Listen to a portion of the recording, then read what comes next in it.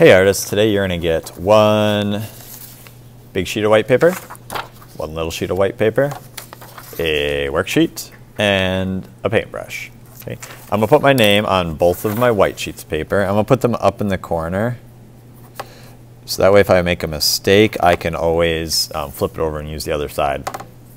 Okay, and I'm going to start with my big sheet of paper, and you are going to create a bubble letter of one of your onomatopoeia words. Okay, remember that we made a list up, up up on the whiteboard. Um, think of words like pow, bam, zip, things like that.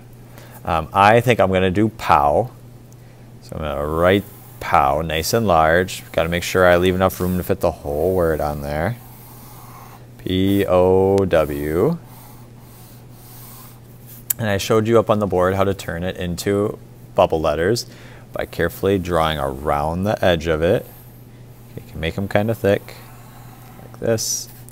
The P's and B's and D's, remember that you need to do the inside of that letter as well, like that.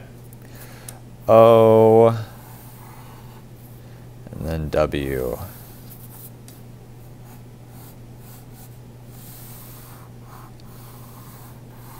Okay, like that. After you've got that drawn, you need to erase the inside of your letters. We don't need to see how you wrote it. That's just there to help guide you with your bubble letters. Okay. After I have my bubble letters drawn, I'm going to paint them with one of the primary colors, not more than one. You need to pick one and use it. Okay, you're either going to have tempera cakes or liquid watercolors out. Tempera cakes, we know that we need to get our brush nice and wet before we can use them. Liquid watercolors, I can just dip my brush in and start to paint. Carefully painting. We are going to be cutting these um, words out next time. So if you get a little spot out of the letter, not the end of the world. After you have your word painted all one color, this is going to go in the drying rack. And then you're going to start on your white details that we'll um, cut out and use next time. Okay, so this worksheet has lots of different ideas for you to look at um, kind of think about what word you're using. So if it's something like zip or zoom, you know, something that's fast, you might think more about like using the lightning bolts as little details for your word because that typically means something's fast or it's an electric. Uh, it's electric. If it's pow or bam, you might want to use one of these other explosions or puffs of air. So you probably want to draw three or four of them. So I use pow.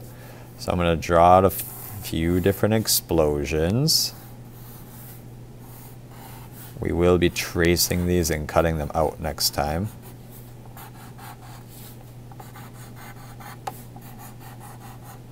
There's one.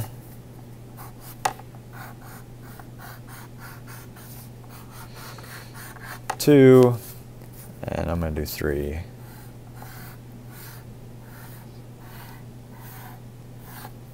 Three.